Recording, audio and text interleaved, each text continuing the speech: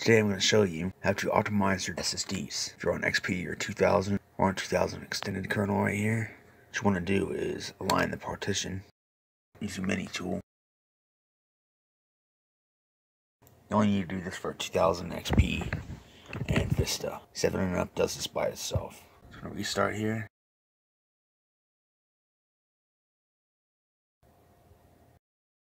Do his job now.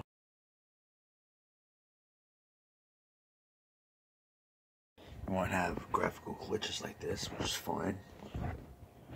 see the program is still working. And it's going by fast, it's only a 16 gig SSD. Places like MSFN forums will say, format the disk on a Windows 7 machine. That's a pain in the ass. Doesn't make the C make it the C drive. It's have multiple drives, so 2000 setups is gonna make you delete it. So what's the point?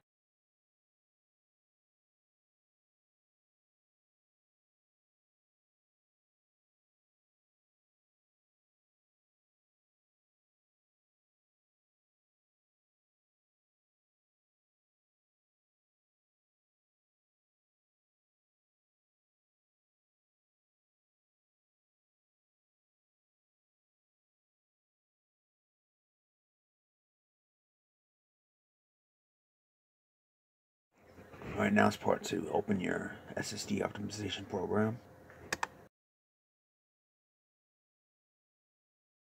If you have an Intel or Samsung SSD, they have their own utility. It might not run on 2000, but XP should run on it.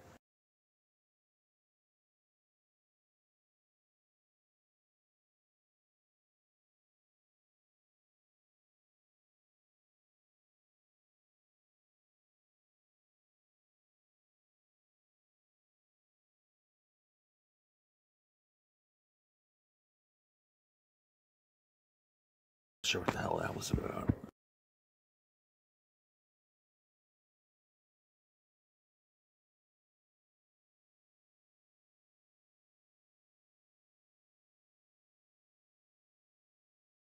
We're done.